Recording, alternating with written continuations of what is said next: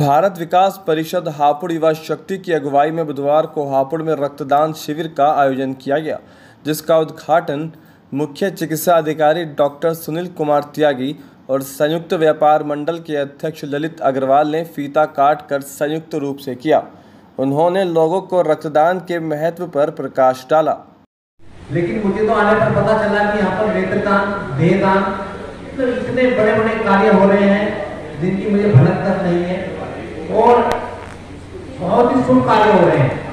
मुझे भी शुभ कार्य में आने का मौका मिला, बड़ा अच्छा लगा। मेरी सभी जिन्होंने भी इसमें पार्टिसिपेट किया, चाहे वो ब्लड डोनेशन में, अपना रक्तदान किया, चाहे नेत्रदान के लिए फॉर्म भरा, चाहे देहदान के लिए फॉर्म भरा, उन सबको मेरी शुभकामनाएँ। और जो स्टाफ यहाँ पर कार्यरत है, जो इस मुहिम को अंजाम दे रहा है जो कार्य कर रहा है, जैसे हमारे बैठे हुए एंटी हैं या वो कोई डॉक्टर्स हैं, उन सभी को बहुत बहुत शुभकामनाएँ, उनका धन्यवाद कि हापुड़ जैसे छोटे जनपद में। उन्होंने इतना बड़ा काम करके दिखाया जो बड़े बड़े शहरों में नहीं हो पाता है।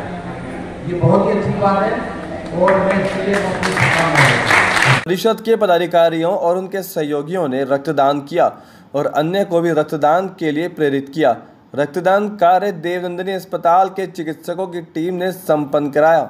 रक्तदान के प्रति लोगों में विशेष उत्साह नज़र आया। शिविर में 200 लोगों के रक्तदान का लक्ष्य रखा गया। भारत विकास परिषद युवा शक्ति ने आज एक रक्तदान लगाया है और रक्तदान में अब तक 39 मेंबरों ने रक्तदान कर चुके हैं और हमारा जो टारगेट है रक्तदान का 200 का टारगेट लक्ष्य है कि 200 रक्तदान शिविर में और ब्लड डोनेट के लिए जनसंख्या हमारी रक्तदान शिविर में डॉक्टर शिव कुमार डॉक्टर पराग शर्मा, परिषद के अध्यक्ष सचिन गोयल, उपाध्यक्ष हिमांशु जैन, मुदित मोहन, कमल अग्रवाल, हर्षित गर्ग, सचिन गुप्ता आदि उपस्थित रहे।